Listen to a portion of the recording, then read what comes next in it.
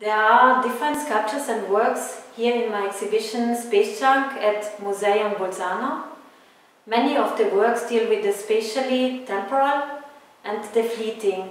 So inside the exhibition you encounter sculptures titled Space Junk. They are inspired by existing space junk. The sculptures are made out of materials such as aluminum, stainless steel, steel, but also ceramics and uh, some parts and shapes appear dissolved and torn.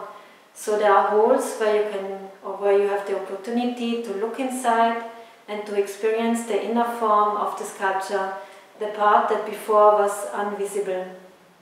These forms are inspired by existing space junk that fell on Earth, but also have a very strong deviation. So these space junk sculptures are scattered around a very big intervention a 30 meter long curved wall. This very large but thin spatial intervention functions from one side as a projection a wall and from the other as a magnetic wall. So it enables a very specific movement inside the space.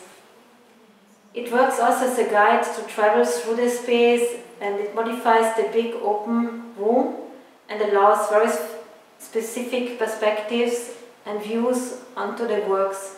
So your own body is always in relation to this curved wall. The wall itself forms new qualities inside the big open space. While speaking about movement, all this junk that is in orbit circulates around our globe with a very high speed. And all this garbage derives from our de de derives from our digitalization and uh, but now has no function anymore. So all this infrastructure somehow remains also invisible. And this rotten technology once made our daily life easier and enabled uh, our digital communication, influenced our movements, but we only see this infrastructure when parts of it fall back on Earth.